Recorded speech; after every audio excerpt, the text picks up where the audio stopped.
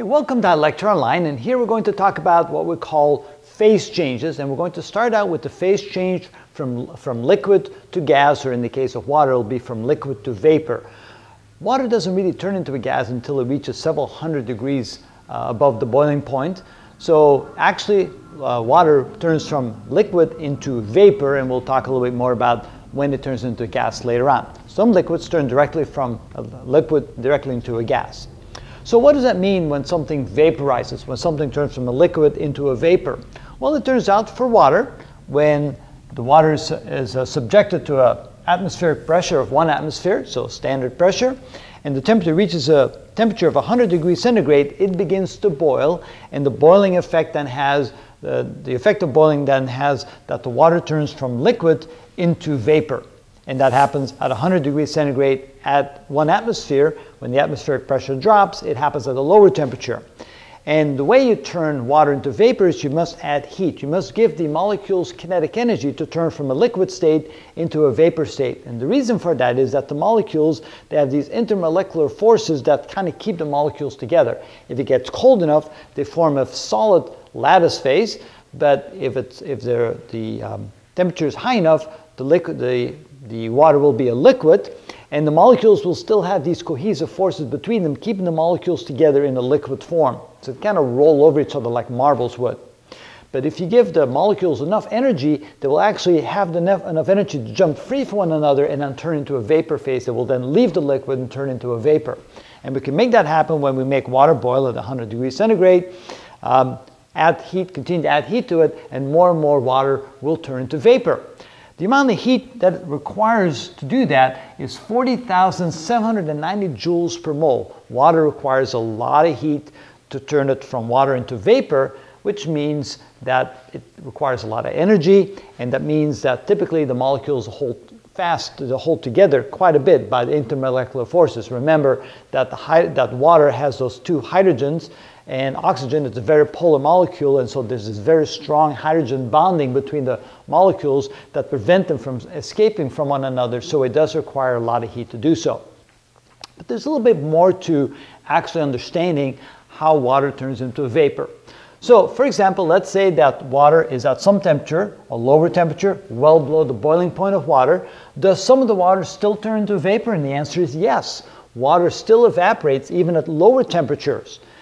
So how does that happen? Well, it turns out that the molecules in the water have a what we call kinetic energy and they don't all have the same kinetic energy. There's a kinetic energy distribution. Some molecules have a little, very little kinetic energy. Some molecules have a lot of kinetic energy. That has a lot to do with the way the molecules kind of bump into each other.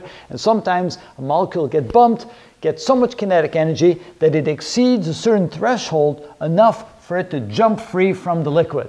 And so that's what uh, evaporation is. These are molecules that then jump free from the liquid, turn from a liquid into a vapor. But at the same time, you could have water molecules in the atmosphere, or if this is inside a container like this, there could simply be water molecules floating around, and through the normal action of water molecules flying around, of course in vapor format, they will bounce into the water and resubmit themselves into the water, so turn back into a liquid. So we have this exchange where we have vaporization of water molecules jumping free because they have enough kinetic energy, and other molecules coming back down, turning back into water.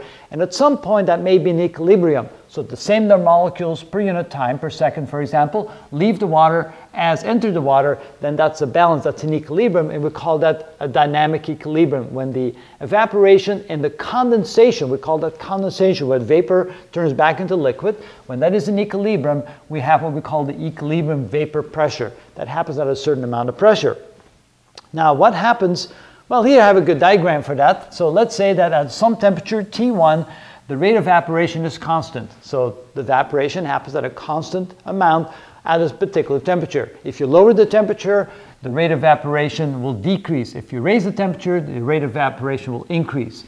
At the same time, the the rate of condensation will depend upon how many molecules are in the atmosphere, how many water molecules in vapor format are in the atmosphere. The more molecules we have, the more will redeposit themselves, and so then it comes closer and closer to the rate of evaporation.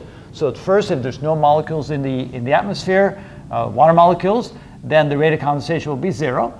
And as molecules is evaporating, the number of molecules in the atmosphere increase, the condensation begins to increase, and you can see how that rate then increases, and eventually it will reach the same level as the rate of evaporation, and we have then reached dynamic equilibrium.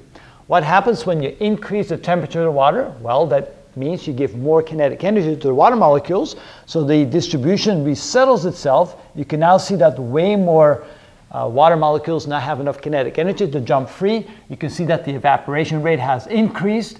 If the, if the condensation rate is where it was before, you can then see that there will be more molecules going into the, into the air or into the container. Less molecules will come back into the water. And so what you now have is you have a new rate of evaporation at a new temperature T2.